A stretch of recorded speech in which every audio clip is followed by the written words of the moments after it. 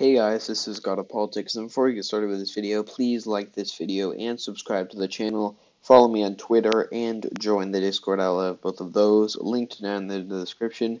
But today's video, I'm going to be doing my 2020 House prediction for the month. I will be doing these every month up until the November elections in on November 3rd of 2020. I'll be doing my elections right before that, but today I'm going to be doing my House election for the month of April. I did one toward the end of March, but now it is April 12th, and I'm going to be doing another one. It's been a bit less than a month, but I'm still going to be doing it. I'm just going to be going through all these competitive house races. This is according to the 2020 consensus, and according to the 2020 consensus, it already gives Democrats a majority, but I'm just going to be going through each individual one. This is the 270 map, just because it lists the margin of victories from the 2018 results and the 2016 presidential results, but I'm just going to be going through them and seeing who I think is going to win.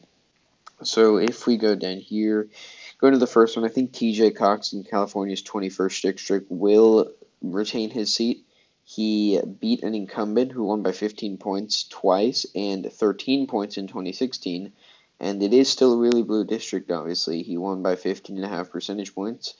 Uh, and it has trended heavily blue, too. Obama only won it by 6, and he only won it by 11 in 2012. Hillary goes out and wins, by, wins it by 16. TJ Cox goes out and wins it by half a percentage point against a long-term incumbent who'd won by 15 points in a really blue district, and it looks like I think he's going to keep the seat. Same thing with California 25. I think this is going to stay. I think this is going to be narrower than a lot of people think it does, just because of everything that happened with Katie Hill. But I think it still will stay with the Dems. It did go to Hillary by a pretty comfortable margin. Also, California 39 is going to stay. Cisneros won by three points in an open election, but it is a very blue district, and now he has the incumbency advantage. Same thing with Harley Rouda. He beat an incumbent who won by almost 30 points in 2014 and 17 points in 2016, and he beat that incumbent by 7 percentage points in a district that is still blue, and it is still the district, so I think he's going to win. All of these will stay too. Georgia's 6th district, I think, is going to stay. This district has trended heavily blue. Uh, McCain won this district by 25 points, and then Romney won it by 23 but Trump only won it by 1.5 percentage point. That's a 23.5% swing. Lucy McBath was able to win this district, and, and it seems like it's going to trend blue even further. And she does have the incumbency advantage, although she did vote for impeachment, which people are saying is going to really hurt, but I don't think it's going to hurt that much. I think most people will forget about it. I don't think it's going to make an important role in making the decision of what candidate they're going to vote for, and especially in this district, it's a district that could go blue in 2020 anyway. Georgia's seventh will be lean red. Uh, Iowa, Iowa first, I think, is going to stay. Abby Finkenauer was able to defeat incumbent in Iowa in a red trending district. She kind of bucked the trends. And that, that, that congressman that previously won quite comfortably, and she won quite comfortably. She won by five points. Although I do think Iowa's second district will flip. It is a district that only is with a Democrat because he got elected in 2006 during the Democratic wave year and while he did win by a lot, it is more of a Trump district than all of these Iowa districts of the 1, 2, and 3. And so now that he is retiring, I think that the district is going to go back to the Republicans. And since it's especially also, it's an open election, since he's also retiring too. So with Iowa's third district, this is also a trending red district, and she won by less than Abby Finkenauer did. And there's also a Libertarian candidate running in here and there was very low turnout in this district in 2018, which was even lower than the 2014 midterms, despite, you know, it, it didn't turn out that way for them. Uh, and it's been trending red, so I think that she will lose this district. That is going to flip. Illinois' 13th is going to stay with Rodney Davis. Lauren Underwood in Illinois' 14th district is going to stay. This trended blue from 2012 to 2016, and she beat an incumbent, Lauren Underwood, who won by 19 points in 2016. She beat him by five, and this is a suburban district as well. And as we know, these suburbs are trending blue. Sharice Davis will win. And Maine's second is going to flip here. It is going to flip to the red, to the GOP. And he only won Jared Golden. He only won in 2018 because of the ranked choice voting. And it is a red district that he barely won in 2018. And you know, I think it'll flip back because of that. It is a very Trump district, and the ranked choice voting might go against him now. He's, he only won with the ranked choice, barely won with the ranked choice voting.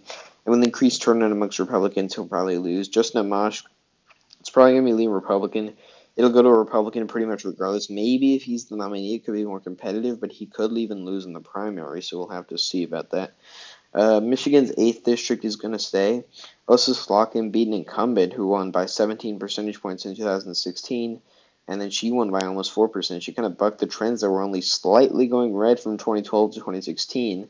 So this district only slightly trended to, uh, red from 2012 to 2016, despite the fact that it heavily trended red overall from 2012 to 2016. And I think it'll go by less of a margin to Trump than it did in 2016, meaning that she'll be able to squeeze out a victory as well as Minnesota's 7th district, Collin Peterson, I think he is going to stay in a district. I mean, he is going to stay blue. In a district that is as red as this, voting for impeachment is going to matter. It's a Republican district that won to Trump by 30 points. And Collin Peterson still won by 40%, but he did vote against impeachment. A lot of people don't realize that. And since he voted against impeachment, he's a long term Democrat. He is probably going to win. And if we keep going down here, we look at these two North Carolina districts North Carolina's 2nd and North Carolina's 6th district. So there was redistricting in North Carolina, which meant that the Democrats are going to get pretty much get two districts from North Carolina because you have George Holding here and Mark Walker who are redistricted into the 2nd and the 6th district, and now these are districts that went to Hillary heavily. So these are both going to flip to the Democratic column in all likelihood, giving the Democrats two, you know, two results. And I'll even put these, I'll put these as safe Democratic. I think that these will be safe. These are just, despite the fact they're open elections, they went to Democrats by huge margins. Nebraska's second could have flipped in 2018 if Democrats didn't run a Bernie bro, but at this point, I will say that it is going to stay lean red because it is Nebraska's second district and it is trending red too. But I mean, it is trending blue. Sorry, it's trending blue. But at this point, he is an incumbent, and I think that he will stay. Chris Pappas, I also think, is going to stay.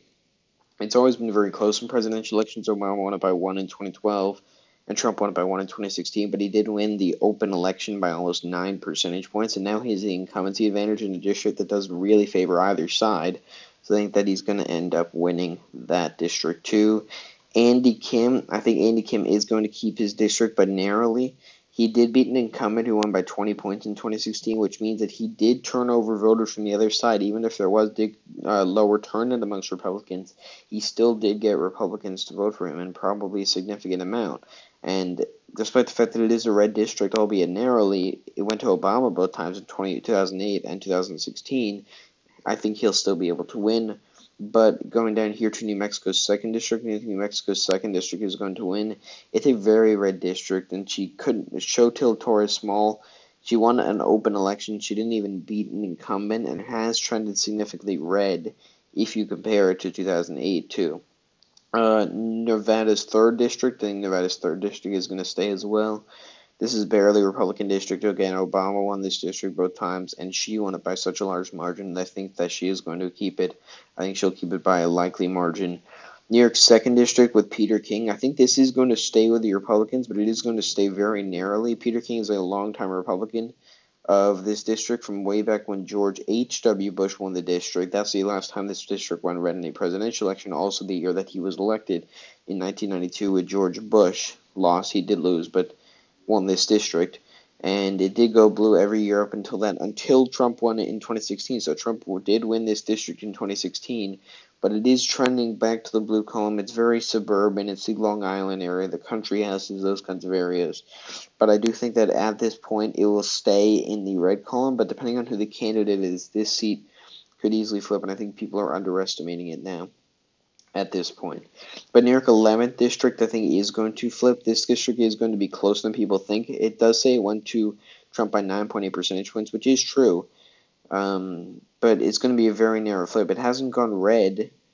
It hadn't gone red since at least the 80s until it went for Trump by 10 points. It went to Obama by 5 points in 2012. So it trended heavily red in 2018 in 2016 from 2012 but then it back back to the blue column. And Max Rose is a pretty good candidate, and he did beat up an incumbent who won by 26 points previously, and he won pretty handily too. He won by he won by uh, six percentage points, but he is still in a Republican district at this point, and I think that it's probably going to flip.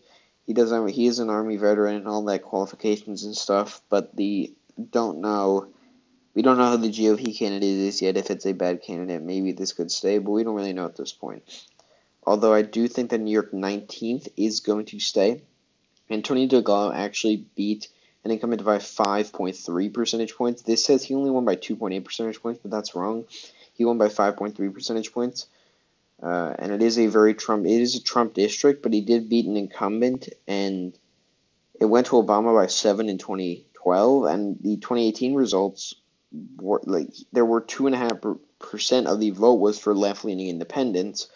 So I think that he'll probably win this pretty easily, despite the, because of the fact that he he already won by five percent with a, a lot of independent vote as well. And despite the fact that it's a Trump district, it's not a heavily Trump district, and it went to Obama at times, like a lot of these districts. And with New York's 22nd, I do think that this is going to flip, though. This is a heavily Trump district. I don't want to say he's dead on arrival, but it's pretty close to that because Trump is not. Eh, Trump did win this district big, although Obama did win it, I do think. I'm not exactly sure of that, but I think, yeah. So Anthony Brindisi is going to lose his seat. New York 24th is going to stay, and while John Katko did win by a lot less in 2018 than 2016, he's been there for a while and it's trended heavily red from 2012 to 2016, but it is still a blue district. But when he does retire, it'll probably be blue again. Oklahoma's 5th district, Kendra Horn is pretty much dead on arrival at this point. It is such a heavily red district that I don't really think that there's any chance that she could win. It's pretty much a fluke. Pennsylvania's first district with Brian Fitzpatrick. This district is barely going to stay red. It's a district that the Dems ran a bad candidate in 2018 after a long-term incumbent who won by 70 points consistently retired in 2018. So Dems do have one good candidate, and they do have a Bernie bro so if they do get the good candidate, I think there's a good chance that he could win, but I'm not sure about that just yet. Pennsylvania's 10th district, lean Republican. South Carolina's 1st district, lean Republican. Joe Cunningham is pretty much dead on arrival. It's such a heavily Trump district, and there's such low turnout amongst Republicans that he's probably going to lose. Texas 22nd district. This could easily flip. I'll put it lean Republican right now, but it did trend 17 points blue. Yep, 17 points blue from 2012 to 2016 in the presidential race, and there is a retiring incumbent. And he only won by five points, and it is trending blue. But right now, I'll put it a lean red, but it could change. Dems don't see. Dems do seem to have a good candidate, but we don't know who it is until close to the election. Although Texas 23rd is less of a uh, red district, and it has trended blue as well. And Will Hurd, the Republican incumbent, is not running for re-election. It is a Hillary Clinton district. Democrats will probably win this district. It's an open district. And with Texas's 24th, I'll put this in Republican too, but Democrats do have a very good candidate. They do have an Air Force veteran, and the GOP candidate is also good too, but it has been trending blue pretty rapidly. It's just a question of whether it'll be enough to, for it to flip now. Right now, I'd say it isn't, so I'm running it a lean red, but that could easily change too. Continuing to go down here. Utah 4th, I think, will be likely red. This will be one of the bigger flips of the night. Mitt Romney won this district by like 40 points, and Trump won it. He would have won it by 22 if it weren't for Evan McMullin, but he Trump still won it by seven percentage points, and he only won by 0.2 percentage points, and it was a big fluke, and I don't think it's going to happen again. Uh, but I do think that that district is going to flip to the red column by a likely margin. Virginia's second district is going to stay at a lean margin as well. Elaine Luria beat an incumbent who won by 22% in 2016. And the state is trending blue, and it went to Obama at times, this district, and Hillary just barely lost it. But Biden will probably win it, and she probably will too. Virginia's 7th district, I think, is going to flip, though.